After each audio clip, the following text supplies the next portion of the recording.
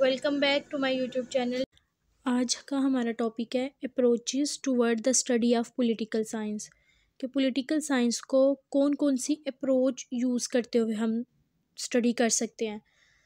अब सबसे पहले तो हम ये देखेंगे कि अप्रोच होती क्या है। हर इंसान का किसी भी इवेंट को, किसी भी फिनोमिना को, किसी भी चीज़ को देखने का वे ऑफ़ लुकिंग डिफरेंट होता है। इसकी हम एग्ज़ाम्पल इस तरह से भी ले सकते हैं, जैसे कि एक स्कूल है। अगर स्कूल को मैं एज अ टीचर देखूँ कि मैं एक उस्ताद हूँ तो मैं स्कूल को कैसे देखती हूँ कि ये मेरे लिए एक ऐसी जगह है जहाँ पे मैं जॉब करती हूँ। लेकिन अगर एक स्टूडेंट है, वो एक स्कूल को किस नज़रिए से, किस परस्पेक्टिव से देखेगा? The place where he or she study कि ऐसी जगह जहाँ पे वो तलीम हासिल करते हैं। लेकिन अगर एक आर्किटेक्चर को देखें तो वो स्कूल को किस नज़रिए से देखेगा? कि it is just a building just a structure वो उसके स्ट्रक्चर पे फोकस करेगा जस्ट तो इसलिए हर चीज़ को देखने का, हर इंसान का अपना नज़रिया होता है। तो अब हम देखेंगे कि पॉलिटिकल साइंस को किस किस नज़रिया से हम स्टडी कर सकते हैं। सबसे पहले आ जाएगा क्लासिफिकेशन ऑफ़ अप्रोचेस के अप्रोचेस को किस तरह से क्लासीफाई किया गया है, किस तरह की अप्रोचेज हो सकती हैं कौन कौन से वे ऑफ़ लुकिंग हो सकते हैं। Number one is traditional approach and number two is modern approach अब ट्रेडिशनल अप्रोचेस वो वाली अप्रोचेस थी जो पहले यूज़ की जाती थी, पुरानी अप्रोचेस जो हैं और मॉडर्न अप्रोच आज के ज़माने में जो डिस्कस की जाती हैं, देखी जाती हैं। सबसे पहले हम ट्रेडिशनल अप्रोच को डिस्कस करेंगे इस लेक्चर में। अब ट्रेडिशनल अप्रोच जो है वो एक ओल्डेस्ट अप्रोच है। It is based on speculations ये फैक्ट्स के ऊपर बेस नहीं करती, ये स्पेकुलेशंस के ऊपर बेस करती है कि ऐसा भी हो सकता है। अगर हम ऐसा करेंगे तो ऐसा भी हो सकता है। इस तरह से चीज़ें बेहतर की जा सकती हैं। ये करके कुछ नहीं दिखाती जस्ट स्पेकुलेट करती है, बताती है, अंदाजे लगा सकती है। उसके बाद ये हमारे पास फॉर्मल इंस्टीट्यूशन को डिस्कस करती है इनफॉर्मल को नहीं करती। फॉर्मल इंस्टीट्यूशन में हमारे पास लेजिस्लेशन जुडिशरी और एग्जीक्यूटिव आते हैं। ये हमारे पास नॉर्मेटिव अप्रोच है कि जो ये बात बताती है कि व्हाट शुड बी कि क्या होना चाहिए। ये नहीं बताती कि व्हाट इज़ क्या है, किस तरह से चल रहा है। अब हम देखते हैं कि ट्रेडिशनल अप्रोचेस कौन कौन सी होती हैं। ट्रेडिशनल अप्रोच में हमारे पास फ़िलोसफिकल अप्रोच आ जाती है। हिस्टोरिकल अप्रोच आ जाती है इंस्टीट्यूशनल अप्रोच आ जाती है। हम वन बाय वन इनको डिस्कस करते हैं। सबसे पहले आ जाएगा फ़िलोसफिकल अप्रोच फ़िलोसफिकल अप्रोच भी हमारे पास ओल्डेस्ट अप्रोच है पॉलिटिकल साइंस को स्टडी करने के लिए। ये नॉर्मेटिव अप्रोच है जो इस बात पे फोकस करती है कि क्या होना चाहिए, ना कि क्या है। जैसे ये कहती है कि स्टेट और पॉलिटिक्स का आइडियल होना ज़रूरी है।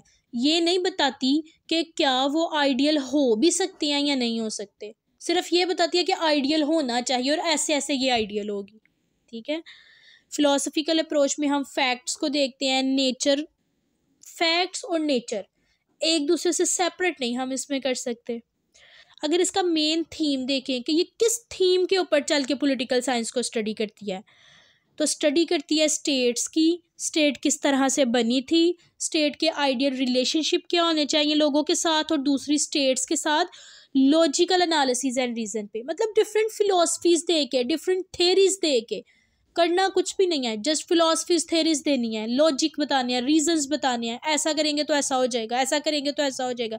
ये नहीं देखना कि मौजूदा हालात में हमारे पास ऐसा हो भी सकता है कि नहीं हो सकता। ये वो वाली टर्म्स को यूज़ करते हैं जो पॉलिटिकल थ्योरीज में बयान की गई होती हैं। अब ये जो मेथडोलॉजी है, ये कौन सी मेथडोलॉजी यूज़ करते हैं? लॉजिकल एनालिसिस और रीजंस को। इसके एडवोकेट प्लाटो हैं। अब इसका एडवांटेजेस क्या है? फ़िलोसफिकल अप्रोच हमें किसी भी चीज़ के बारे में डिटेल्ड नॉलेज फ्राहम करती है ज़ाहिर है, जब एक फ़िलोसफी होगी, एक नज़रिया, एक तजिया होगा तो वो हमें एक उसका इन डेप्थ स्टडी करके बताएगी हमें पॉलिटिकल इंस्टीट्यूशन का और किसके ज़रिए स्टडी करेगी? लॉजिक और रीजंस के ज़रिए। अब इसका डिसएडवांटेजेस क्या है कि it is focus on idealism idealist के ऊपर ये बिलीव नहीं करती बट आइडियल चीज़ें तो हम, हमारे पास बनाना बहुत मुश्किल चीज़ है। कोई भी चीज़ आइडियल नहीं होती, कुछ भी परफेक्ट नहीं होता। हर चीज़ में कमियाँ, कुताहियाँ, गलतियाँ लाजमी होती हैं। तो इसलिए इसका डिसएडवांटेजेस ये है कि it is more ideal rather than idealist ये जो अप्रोचेज़ हैं, इनको हम सिर्फ़ स्टडी ही कर सकते हैं। ये हकीकत में ऐसा हो नहीं सकता। तो इसलिए ये सिर्फ़ किताबों की नज़र हो के रह जाती हैं philosophical approach next one is historical approach अब हिस्टोरिकल अप्रोच क्या है? हिस्टोरिकल अप्रोच स्टडी करती है। जैसे अगर हमने पॉलिटिकल साइंस में पढ़ना है कि जुडिशरी क्या है तो हिस्टोरिकल अप्रोच के ज़रिए जब हम उसको पढ़ेंगे तो हम पहले जुडिशरी की पढ़ेंगे हिस्ट्री कि ये बनी कैसे, क्यों बनी, कैसे बनी, कहाँ से बनी, उसकी हिस्ट्री को पढ़ के आज के बारे में स्पेकुलेट करेंगे, कि हिस्ट्री में ये ये चीज़ें होती रही हैं आज हम ये करेंगे तो ये चीज़ आइडियल हो जाएगी।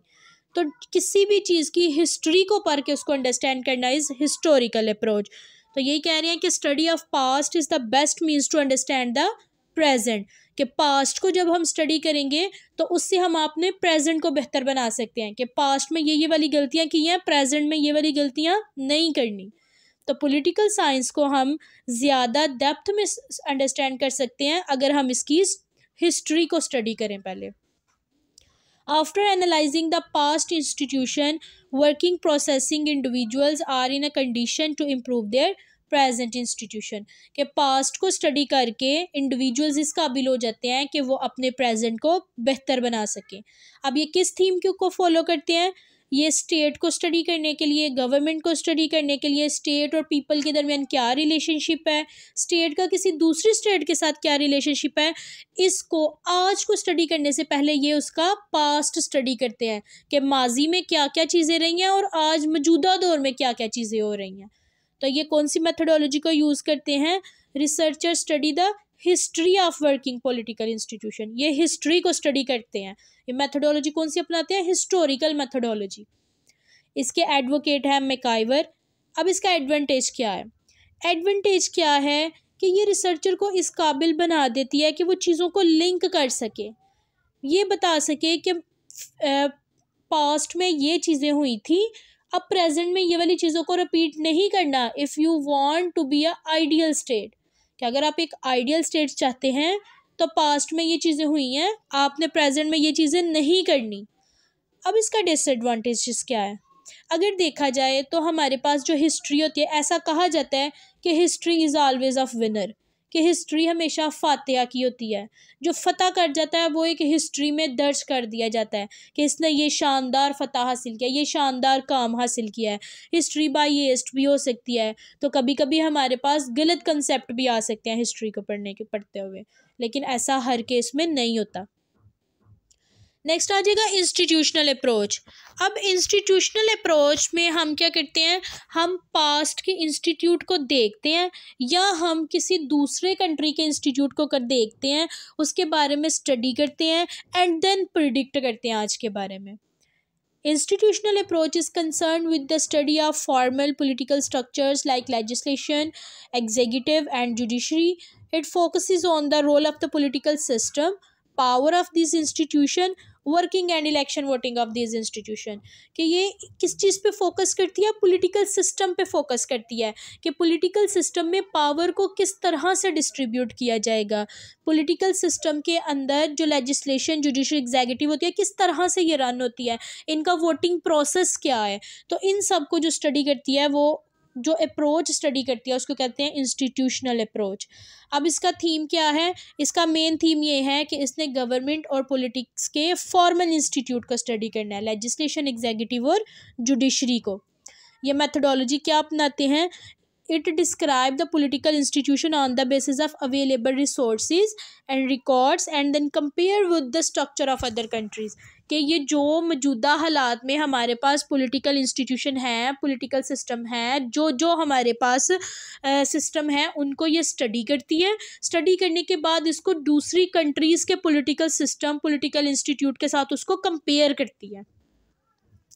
अब इसके एडवोकेट हैं अरिस्टोटल इसका एडवांटेज अगर हम देखें तो आ जाएगा कि ये हमें कंपैरेटिव स्टडी ऑफ़ इंस्टीट्यूशन में हेल्प करती है। हम कंपेयर करते हैं अपने पॉलिटिकल सिस्टम को किसी दूसरी कंट्री के पॉलिटिकल सिस्टम में कि उसकी ये चीज़ बेहतर है, हमारे में ये कमी है या हमारी ये बेहतर है, उसमें ये कमी है। इसका डिसएडवांटेजेस आ जाएगा कि ये सिर्फ़ नैरो फोकस रखती है फॉर्मल स्ट्रक्चर्स के ऊपर। इन फॉर्मल स्ट्रक्चर्स के ऊपर ये कान भी नहीं धरती। ये जस्ट ये देखती है लेजिस्लेशन क्या कर रही है जुडिशरी क्या कर रही है एग्जीक्यूटिव क्या कर रहा है, या हमारे पॉलिटिकल सिस्टम कैसे चल रहा है। जबकि जो दूसरे फैक्टर्स होते हैं दूसरे एस्पेक्ट्स होते हैं ये उनको इग्नोर कर